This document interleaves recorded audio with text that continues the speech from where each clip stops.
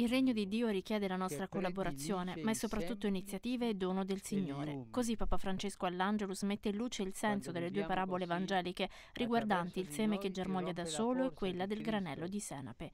Nel primo episodio il seme, come la parola di Dio, cresce grazie alla fecondità che insita in sé. È sempre Dio, ricorda il Papa, a far crescere il suo regno. L'uomo è un suo umile collaboratore che contempla e gioisce dell'azione creatrice divina e ne attende con pazienza i frutti. Ma, aggiunge il Papa, è importante importante nutrirsi ogni giorno della parola di Dio, leggendo un brano del Vangelo o della Bibbia, perché è la parola che fermenta e fa germogliare la vita. Il secondo episodio riguarda la piccolezza del granello di senape che diventa però la più grande pianta dell'orto. Così, per entrare nel regno di Dio, bisogna farsi piccoli, poveri di cuore, non confidare nelle proprie capacità, ma lasciarsi fare dalla forza di Cristo, che trasforma ciò che è piccolo e modesto in una realtà che fa fermentare l'intera massa del mondo e della storia. La vittoria del Signore è sicura.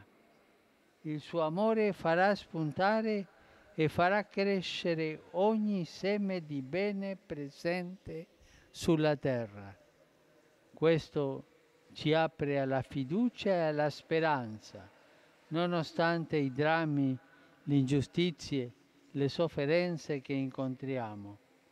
Il seme del bene e della pace germoglia e si sviluppa perché lo fa maturare l'amore misericordioso di Dio. Al termine dell'Angelus il Papa ha ricordato la giornata mondiale dei donatori di sangue e la pubblicazione in settimana dell'enciclica sul creato perché tutti, ha affermato, possano ricevere il suo messaggio e crescere nella responsabilità verso la casa comune che Dio ci ha affidato.